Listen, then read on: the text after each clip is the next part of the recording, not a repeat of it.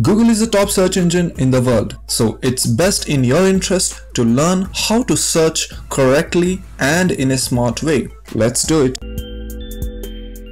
Here are the techniques everyone should know. Let's start with number one, that is using quotes. If you're looking for specific phrases in your Google search, for example, social media marketing, if you simply do the search for social media marketing, Google will present you with all the websites having these words. But that would be hell lot of pages to sort out. Now let's put social media marketing in quotes and do the search again check 10 times lesser than without quotes. So Google filters all unwanted or unrelated words out of the results and give only those within the quotes. Moving on to number 2 that is word definitions. If you quickly need to look up the definition of a word or a phrase, just use define command like this. Let's see extempore speech well, it's very precise and time saving. Moving on to number 3. You can search specific document type.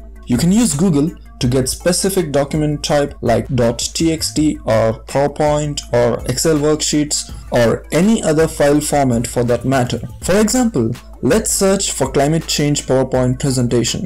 You need to type climate change within the quotes, space file type and PPT. You will get all the presentations available online super fast. Now moving on to number 4. Timer and stopwatch. Yes, you heard it right. Google does provide you with handy timer and stopwatch.